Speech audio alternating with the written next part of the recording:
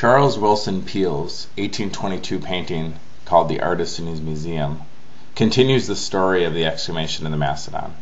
Here we find Charles Willson Peale in a self-portrait standing in front of his museum in Philadelphia.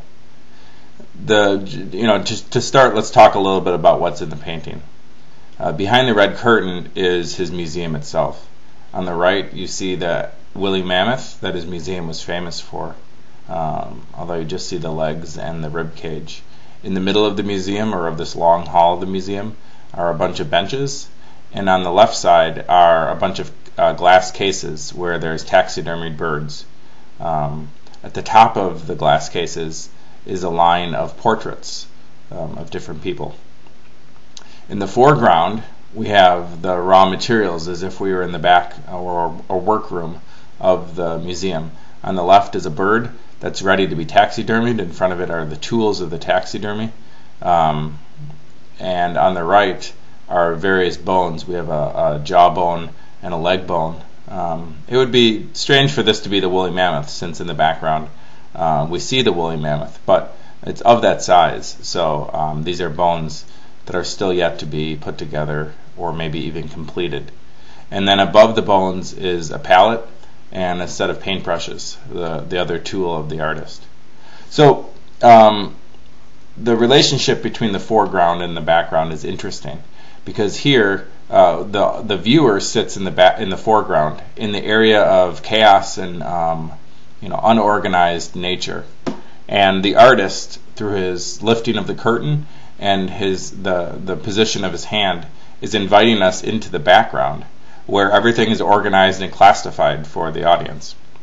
And so, um, as an Age of Reason painting, this is explaining that the role of the artist is to organize nature and make nature uh, less chaotic and more clear. And so, uh, just the very position of the audience is to move forward from the chaotic into the organized. The second thing about the painting is just the combination of artist and scientist in the next age, which we'll look at, the age of reason, or I'm sorry, the romantic age, uh, science, science and, and art were really seen as two sides of, of the spectrum, uh, almost at war with each other.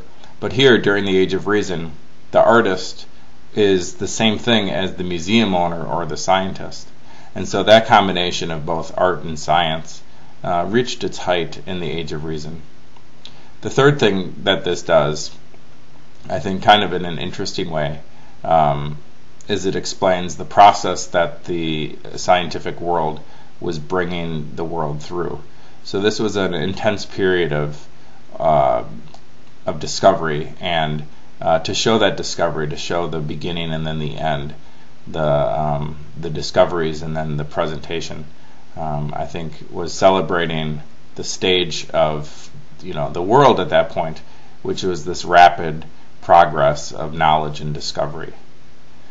Okay, so um,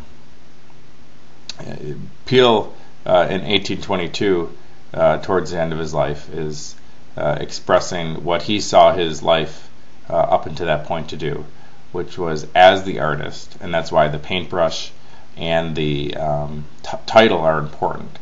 As the artist, he does the job uh, that later will um, say is the job of the scientist.